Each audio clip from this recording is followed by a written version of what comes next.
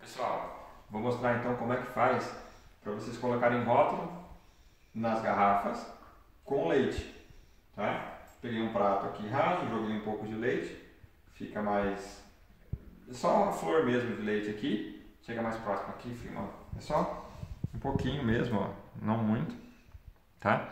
Eu pego o rótulo aqui, eu pego o rótulo aqui, põe a viradinho, coloca ele na flor, levanto, pega a garrafa, ó, colocou, passou, vai ficar um excesso, tá? Cuidado para não borrar. Eu fiz aqui o rótulo com papel normal, tá? Então é folha normal, comum, A4 e a impressora de tinta. Então vai ficar, ó. Esse aqui ficou uma bordinha aqui, ó. Pega o leite, molha um pouquinho e cola. Ficou também, não, não tem como ficar perfeito. É só um quebra-galho, mas funciona, tá? Esse aqui cola bem legal. Vamos mais uma vez mostrar com vocês. Ó, pegou o rótulo, passou na flor,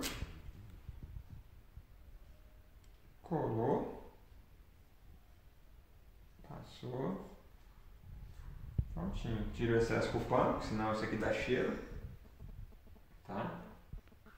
Limpou, beleza. O rótulo eu fiz no site beerlabelizer.com. Depois eu ponho o site aí no, embaixo aí na descrição do vídeo. Beleza, gente? Mais uma vez? Vamos lá. A última. Não tem erro, ó. Facinho.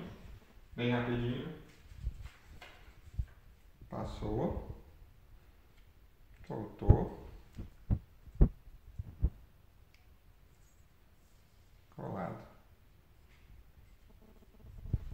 Tira o excesso. Pronto. Fabricação caseira. Valeu, gente.